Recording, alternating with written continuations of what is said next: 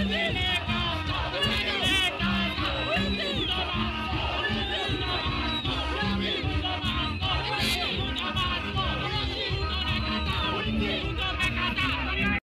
President William Maruto have been visiting counties in the Nyanza region and today he was in Migori County where he was heckled badly and uh, the main aim of him being in uh, Migori County was launching the Lower Kuja irrigation project in quotes Kegonga water project of which many people have been reacting with this you know launch of uh, President William Ruto where is he launching launching so many projects instead of focusing of on you know uh, building them rather than you know launching them of which netizens are so so angry with his launching of which many people are saying or speculating that he is just launching them and he is never going to build them up.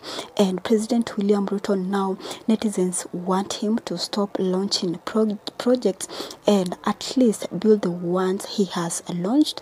Then after building the ones that he has already launched he can come and uh, launch the other ones. But you can just drop your opinions down below in the comment section over these projects uh, that President William Ruto have been uh, launching ever since you know he came from uh, the election from Rwanda or inauguration of Paul Kagame as the president of Rwanda. Many people are saying, "Hey, President William Ruto, we are tired of you launching projects. Can you at least start building this uh, project and stop launching them? We are tired. We are tired.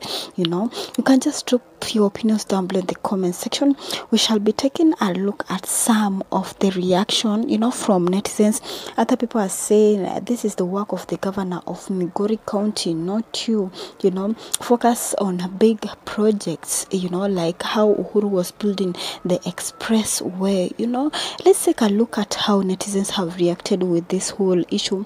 Like David said, so much money is wasted on mobilizing resources for PR announcers.